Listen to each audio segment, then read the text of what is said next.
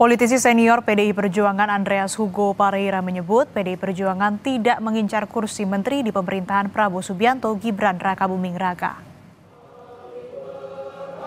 Menurut Andreas, PDIP tidak menjadikan jatah kursi menteri di pemerintah Prabowo Gibran sebagai target utama.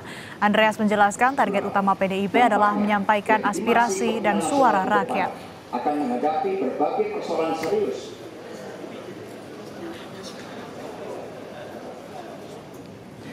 politik ini hal yang biasa sekali gitu. Kita ya, kita juga ya, tidak harus istilahnya apa sangat ngoyo-ngoyo dengan apa jabatan menteri di kabinet uh, itu sebagai uh, target utama gitu, uh, target utama berpolitik itu kan. Uh.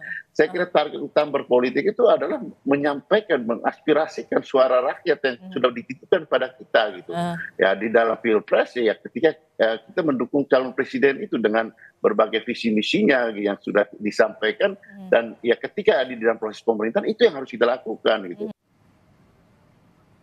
Sementara Wakil Ketua Tim Kampanye Nasional Prabowo Gibran, Sylvester Matutina, menantang PDI Perjuangan untuk menarik semua menterinya yang berada di Kabinet Pemerintahan Jokowi Ma'ruf.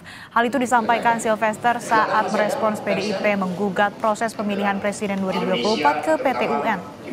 dan Jakarta. Yang ketiga, persoalan pangan dan energi. Yang keempat, Maksud saya lebih baik daripada capek-capek untuk petun. Yang paling gampang itu PDIP menarik menteri-menterinya dari kabinet Pak Jokowi, ya kabinet saat ini, karena itu yang lebih memungkinkan dan gampang dilakukan.